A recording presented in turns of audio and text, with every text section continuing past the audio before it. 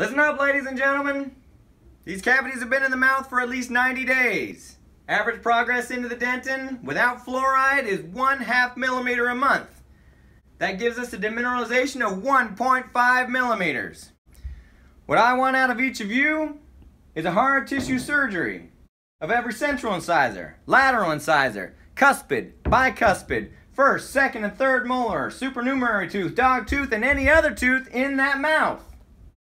Checkpoints every six months. The cavities will be caught by Dr. Douglas Shafer.